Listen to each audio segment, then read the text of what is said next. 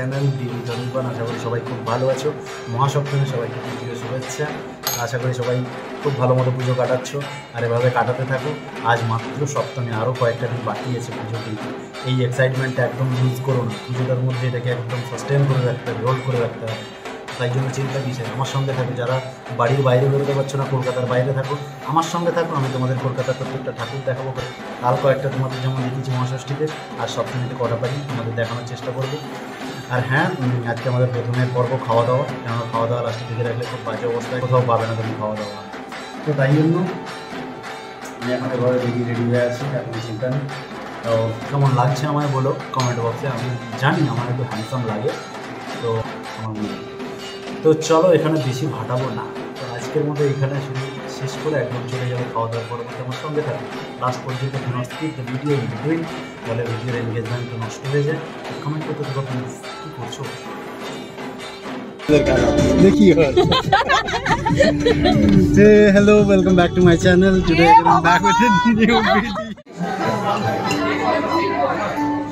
তুলছি সেল না?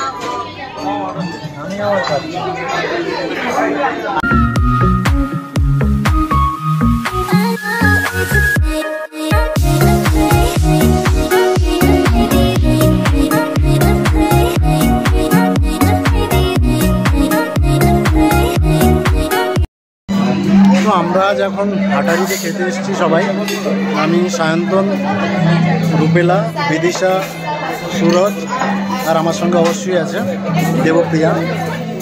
অনেকক্ষণ দাঁড়িয়েছিলাম দু ঘণ্টা মতো। তারপরে আমাদের একজন ছেলে সুরজ, ও লিটারেলি একটা ম্যানেজ করল। মানে কোনোভাবে মানে ও ম্যানেজ করে তারপর আমরা এখন ঢুকেছি। আর যেভাবে খিদে পাচ্ছিল, সেটা এখন মোটামুটি তৃপ্তি পেয়ে এখন খাব এখন। দেখা যাক কী হয়।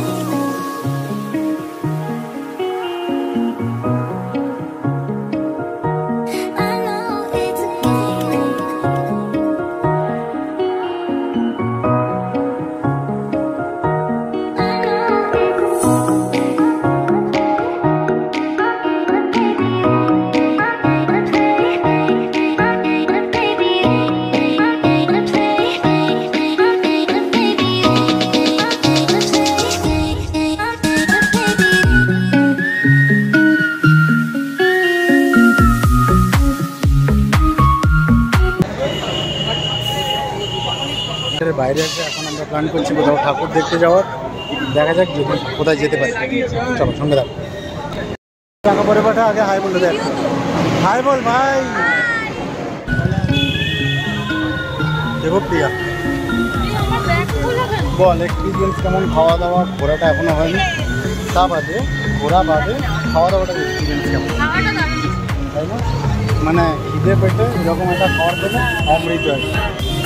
তাই না? ভালো খাওয়া দাওয়া হয়েছে, ভালো একটা ডেস্টিনেশন খাওয়া দাওয়ার জন্য।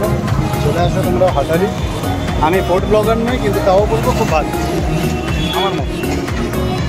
এইরকম একটা খাবার খেয়ে প্যান্ডেল দেখার মজাই আলাদা। তাই তোমাদের আশা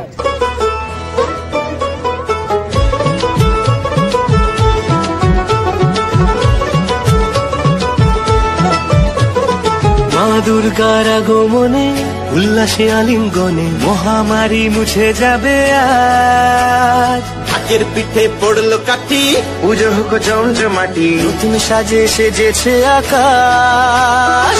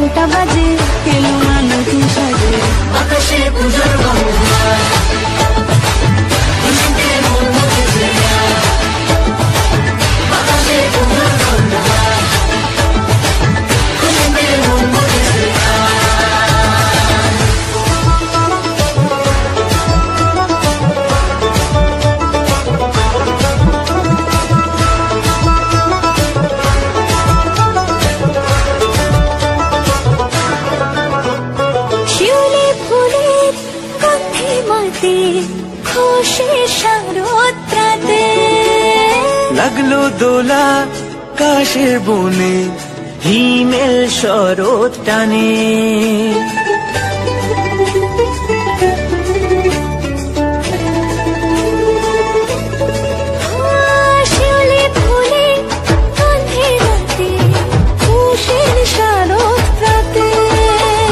লাগল দোলা কাশের বনে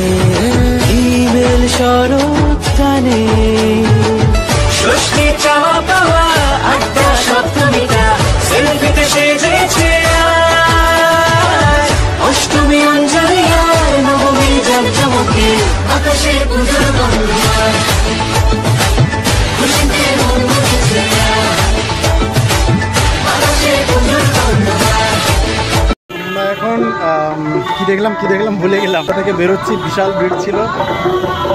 বাকি যে দুটো কাপল ওরা আর পাচ্ছে না। আমি এখনও এনার্জেটিক আছি, এখন এনার্জি হোল্ড করছি।